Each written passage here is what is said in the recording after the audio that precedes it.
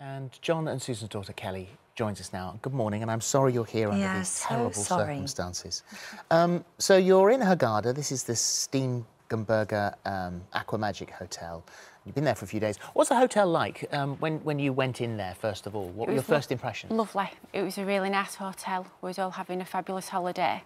And up until the incident that happened, we had no complaints. Didn't see anybody, you know, getting sick or No, so nothing. Food no, poisoning, no mention of food No, poisoning or anything no like food that? poisoning. It was clean, it was tidy. We had no complaints at all. So you've got your mum and your dad, and you've got your three children with you. So on Monday, the 20th of August, you'd all been out for dinner. And then was your mum and your eldest Molly that returned back to the room. They returned back to the room yeah, on their own. And they, they, could, ha- they could smell something in the room, a not very nice smell. No, as soon as they opened the door, they both instantly said, What's that smell? And they knew that there was a certain smell. So the way you'd organised the rooms for this holiday Yeah. was that your mum and dad were with, Hol- With uh, my, Molly. Yeah, my eldest. Yeah, and then you're in the other room down With the down with children. Jessica and with Jackson. That's right, yeah. Okay, so Yeah. you're you're sharing that, but Molly Yeah. was in Molly with was them. with mum and dad, yeah. and and she was quite uh, acute to this smell, wasn't she? She was, yeah. She actually fell asleep um, in the room and then she woke up to say to my mum that she didn't feel very well and that she wanted to come and spend it back with me the evening with myself. And that was at 1.30 in, your mo- in the morning that your dad brought her back. Yeah, mum phoned me up and she just said, Molly's not so well, I'm really sorry to wake you up, but can we send her back up? And I said, yeah, that's fine, not a problem. And she came up back to the room with dad. Well, thank God she did, because that was the last time that you saw your dad healthy. That's right, yeah. And how were they when they went to bed? Absolutely fine. We was having a really good evening. We'd been playing cards. Um, everyone was really happy. And there was, we was just all fine. And then the next morning, you always next met morning. your mum. Mum always downstairs organising some Always beds and all that downstairs, sort of business. So, Yeah, uh, she so she's, she was always down there first. Yeah. And you go down to breakfast. Yeah. And uh, and expect to see them down there. Yeah, and they weren't there. So I thought, well, maybe they're having a lie-in because they didn't have any children with them. And then I thought about 10.30, something's not quite right. So that's when I knocked on the door and knew something was seriously wrong. And when you knocked on the door, and I know that this is still obviously very raw and incredibly painful for you, but when you opened the door in, in the best way you can possibly, what, what did you find? Dad came to the door um, and I knew straight away from looking at him, looking at his manner, that there was something really seriously wrong with him. And mum, when I got in the room, mum was just laid on the bed, not making any sense whatsoever. And you, So incoherent. Completely incoherent, yeah. And so what happened next? What happened, um, from me going into that room, an hour later, my father died in front of my very eyes. And then they got mum to the hospital, where they tried to work on her at hospital. And then within three hours, she had died as well. So within like a four-hour window, they'd both, both died. Who came when you, when you reported this and said Yeah. my father is very very poorly? Who who? Um, who A doctor came? came from the hotel. Yeah. and did anyone at that point say, say what it could be? They had no idea. I think they thought it was some kind of food poisoning or severe dehydration, because they were trying to get land in them to give them some sort of liquid, but it just wasn't working. Um, you had to give statements to the police. How, how come they got involved at this point? Because somebody had died in the hotel, as soon as Dad died, I had to go into a room uh, with the Egyptian police and give a statement, and they just basically said, it looks like your dad's had a heart attack. And I kind of said, yeah, fine, uh, I need to go and be with mum now. So then I went with mum to the hospital.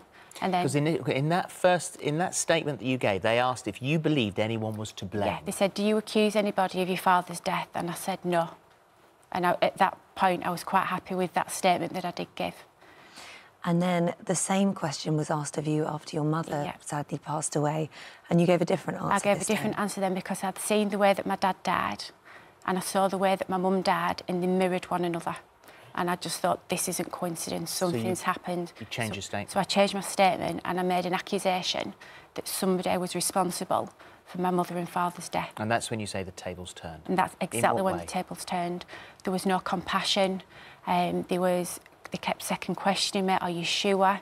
They said your father's died of a heart attack, um, your mother's died from grief, and the gods have just taken her. Mum wasn't aware that dad died. She wasn't with it. Um, so as soon as he said that, I just thought there's something not quite right here.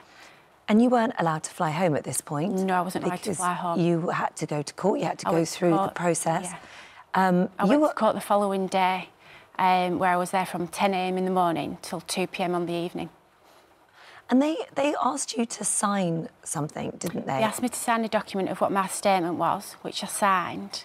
But I also put at the bottom that I couldn't read what I was actually signing because it was all in Arabic.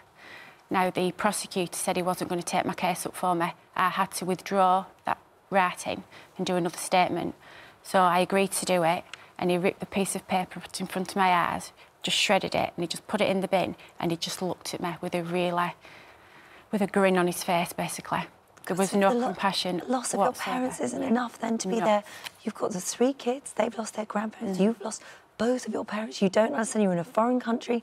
I mean, for you, this is just a living nightmare. Well, the, um, the Ministry of Tourism in Egypt say visitors to Egypt rightly expect the highest standards during their stay. Would you say you got those? No. We must await patiently the results of the ongoing investigation in Egypt and the coroner's inquest has, uh, that's been opened there. They said it was E. coli. Uh, the reports from the coroner here, it's come back inconclusive. Um, obviously, this is an ongoing case now. What do you say to, to, the, to the fact that it has been attributed to E. coli? With the Egyptian authorities, they do state that they've given a statement, but all it is is a post-mortem statement. They've given nobody any results. Nobody in the UK has seen any results as to what they've tested for. Right. Now, it was Thomas Cook that initially said E. coli because they'd sent their independent people in to test the food and all the surroundings, and they said E. coli. Now, the Egyptians then, in my opinion, jumped on board and thought, Thomas Cook just said Eli, E. coli, we'll go with E. coli. Well, interestingly, a few, uh, few weeks ago, it's the 13th of September, um, this is a world-renowned bacteriologist. Um, uh, he's an E. coli expert, and he uh, is Professor Hugh Pennington, and he said this. be unprecedented for even the nastiest E. coli's that we know about to act that rapidly with that sort of terrible consequence. We said uh, in your introduction, he was one of the leading specialists of E. coli in the world. In your experience, in the amount of time that you've been dealing with it, have you ever seen a case where someone has died so rapidly? No, I've never seen a case where somebody died, say, within 12 hours of, of the, the initial infection. How does that make you feel? I get some positive things from that because that's somebody with some knowledge that his opinion that E. coli did not kill them.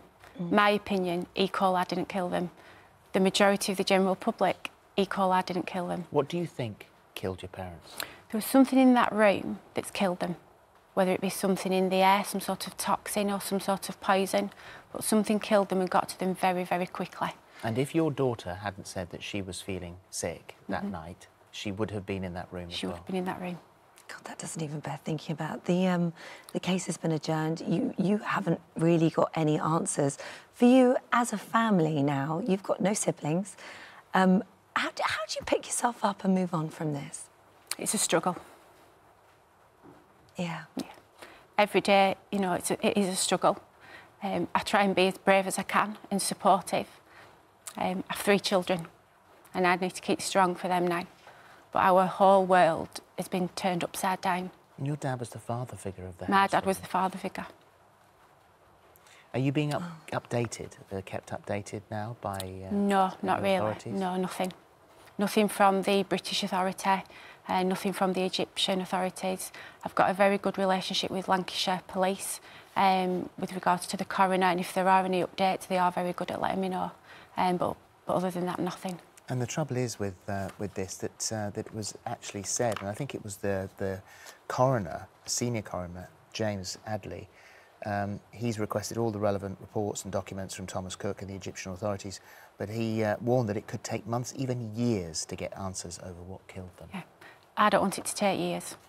No. I cannot carry on with life until I get the answers that I want. It needs to be done quickly. Well, I hope you get those answers soon. I really do, for the sake of you and your family.